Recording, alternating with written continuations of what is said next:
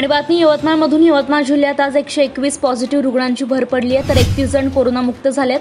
आज नव्याने पॉझिटिव्ह आलेल्या एकशे एकवीस जणांमध्ये सहासष्ट पुरुष तर पंचावन्न महिला आहेत. या एकशे एकवीस मधील पुसदमधील पन्नास दिग्रसमधील चव्वेचाळीस पांढरकवडामधील वीस यवतमाळ सहा तर दारवामधील एका रुग्णाचा समावेश आहे. यवतमाळ जिल्ह्यात आतापर्यंत एकूण पॉझिटिव्ह रुग्णांची संख्या एक हजार चौऱ्याहत्तर इतकी झाली आहे. यापैकी पाचशे शहाण्णव जण कोरोनामुक्त झालेत तर आतापर्यंत जिल्ह्यात सत्तावीस रुग्णांचा कोरोनानं जीव गेलाय.